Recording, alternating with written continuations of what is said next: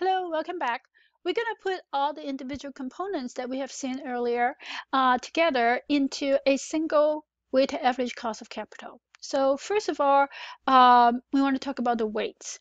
The weights is determined by the relative importance of different kinds of financing that a company uses. Uh, and whenever possible, we want to use market value weights.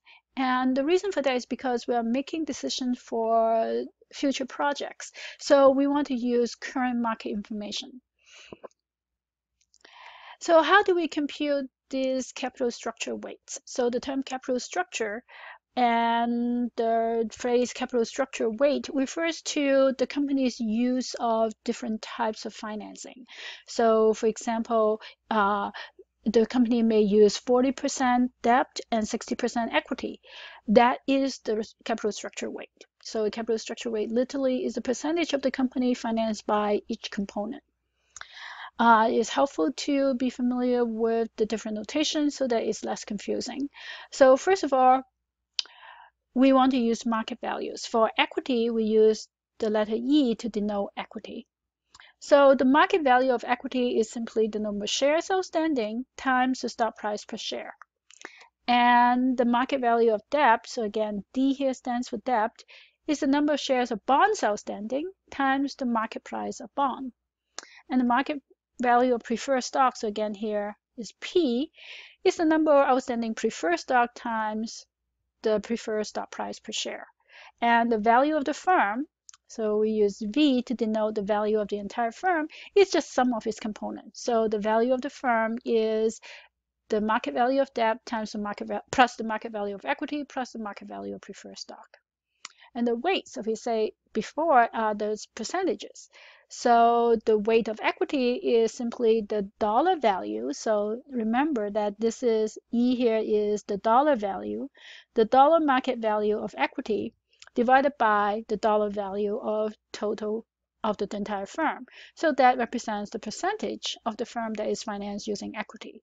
The same for debt, we take the market value of debt divided by the market value of the firm, and preferred stock, we take the market value of preferred stock divided by the market value of um, of the firm.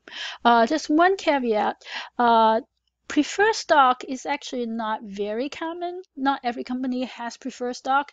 And if it doesn't have preferred stock, the number is simply zero. So it doesn't really change. Um,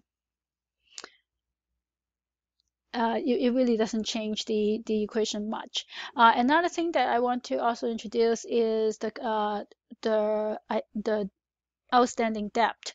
Uh, some companies may have different types of debts or different bond issues outstanding. And if a company has more than one bond issue outstanding, uh, then the market value of debt um, will be the uh, weighted average. And the uh, the weight of the of the bond will also be the weighted average. So let's take a simple example. To In this example, we emphasize on computing capital structure weight. So let's say you have a company that has a market value of equity of $500 million and a market value of debt of $475 million. We can compute the capital structure weight. So first of all, we want to find the total value of the firm, which is V. So since we have $500 million in equity and $475 million in bond in debt. So our total market structure or total market value of the firm is $975 million. And to compute the weight for equity, we take the market value of equity, which is 500 million, divided by the total value of the firm, which is 975 million. And that gives us 51.28%. So this is the capital structure weight for equity. For debt, we take the $475 million in debt divided by $975 million in equity, and that gives us 48.72%. And that is our capital structure weight of debt. One of the very important useful thing is when you add up all the weight, if you have equity, debt, and preferred stock, you add up all the weight, the weight should always add up to one. Next, let's take a uh, further look at some important characteristics of the weighted average cost of capital, and that has to do with tax. When we are doing capital budgeting, we our focus is on the after-tax cash flow. So when we compute the cost of uh, cost of capital, we also need to take into account the in, any effect that tax may have. Um, one of the very important part of the cost of capital is cost of debt. Interest expense, which is the cost of debt, is tax deductible. So when a company borrow money, it can actually reduce its tax liability because its interest expense is tax deductible. And therefore, what the, the net effect of that is um, that borrowing is actually cheaper because of this tax subsidy. So when we look at the after-tax costs, we need to take into the after-tax cost of debt.